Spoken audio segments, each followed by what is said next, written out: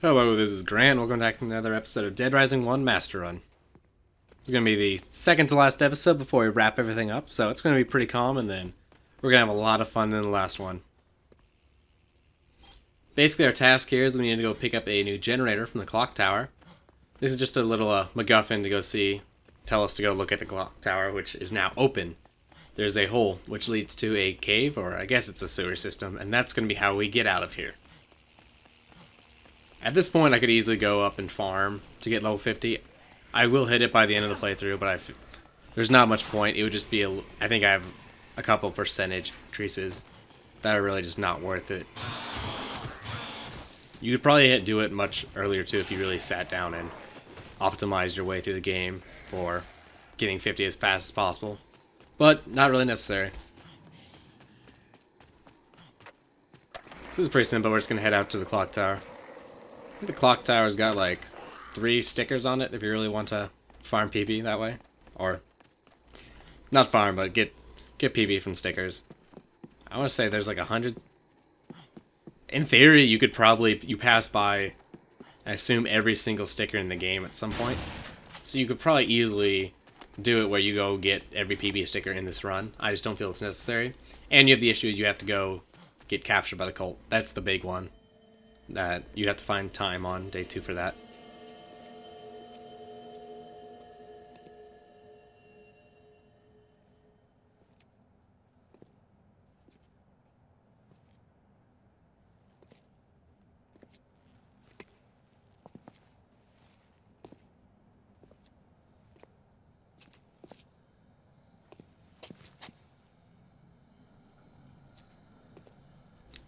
So here they're just basically interest, introducing the idea of this new path out, which, with some of the advent of the new perfume Isabelle's making, is going to be a viable option. I do feel that overtime mode's kind of dull in terms of gameplay, because it's really only there to kind of finish out the story. Damn it. There's not really much that happens. Like, there's no psychopaths. You just have the military and the final boss. And they do have some kind of weird things too, like with the drones or the whole tank battle that's gonna come up.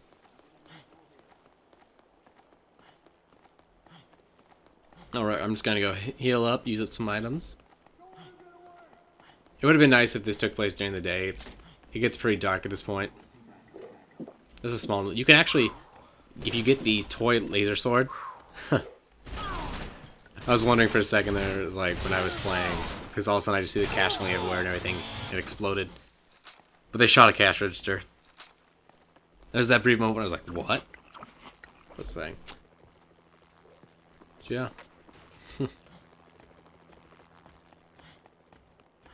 oh yeah, I wonder how, I don't know how I would change. I would, it'd be cool if they had just some more new content in here that wasn't just go around doing what you already kind of did.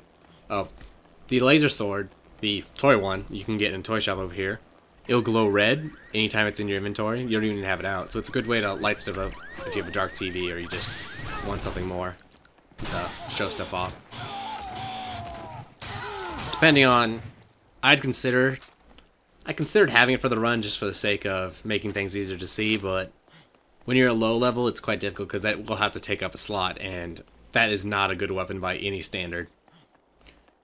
I don't. I think you might. You can get a kill with it. There's some toy weapons where you just can't kill anything with it. Like that's the point. Like the water gun and whatnot.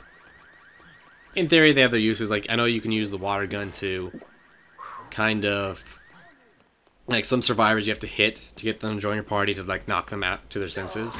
Well, you can hit them with a no damage weapon like the water gun to help yourself out there. It's too bad. I thought it'd be really cool if they had some crazy side quest that was never officially talked about that required getting a bunch of random items from the mall and using them.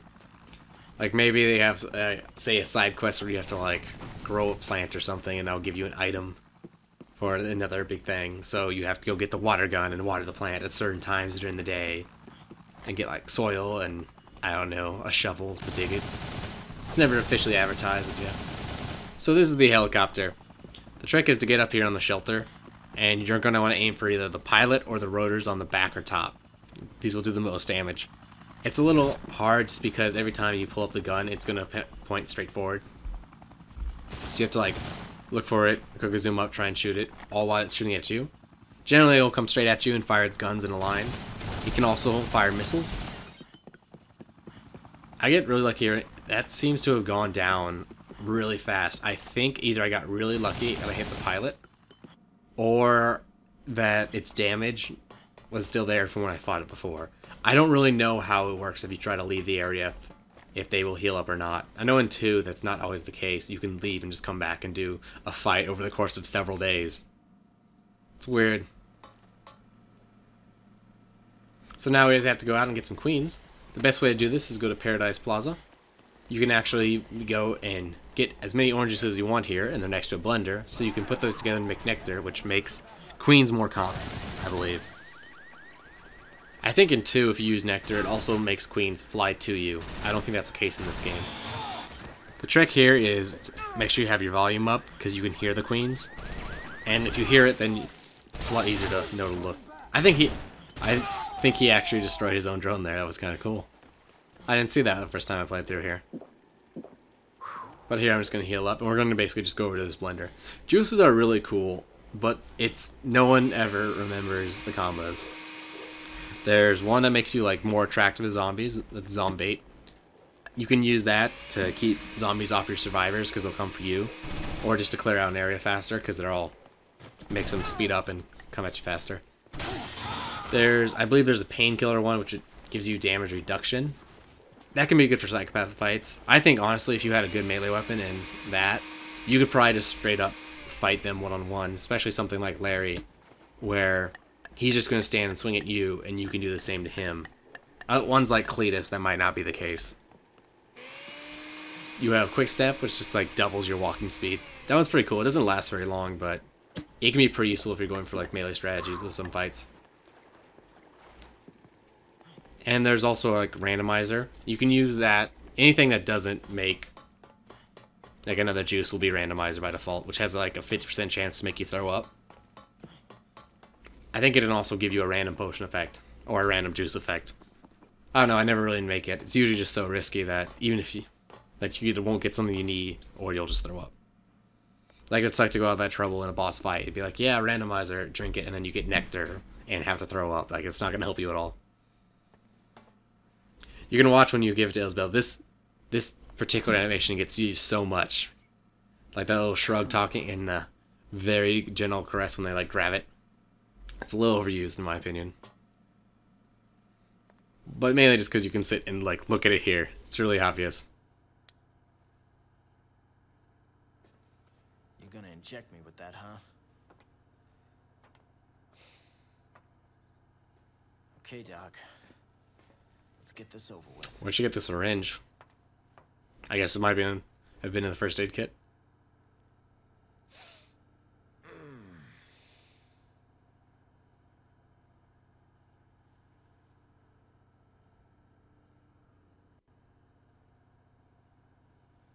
At least I won't have to worry about turning into one of them for a while.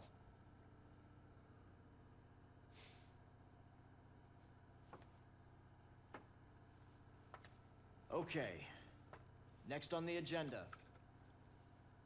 Figure out a way to get the hell out of here. While I was isolating the hormone, I managed to identify a pheromone that suppresses the attack instinct in adult parasites. In other words, the zombies don't like the way it smells. If you give me a little more time, I should be able to produce some of this pheromone. They think it smells bad? You think we could use something like that to keep them away from us? I like the idea like that with the whole pheromone keeping them away. But it seems a little bit too. Yes. Could try like, oh, I just found something that can keep zombies off of us in really tight confines. It's like I just found up the way out of here with really tight confines with lots of zombies. It's like, you don't think we could. It's a little cheesy. works, your anti-zombie perfume, it could keep us safe in that cave. I think it's a big leap assuming that leads out. I mean, it, Ready to get the hell out of here? it gets you away from the military, but you still have the issue of getting out of town. Because the whole area is There won't be quarantined. enough of this pheromone to waste it on I want to see how that works. There's got to be a reason. I think I assume they probably end up bombing the city eventually and just burning it down. Well, this is. Grant. And don't take your zombie perfume for granted.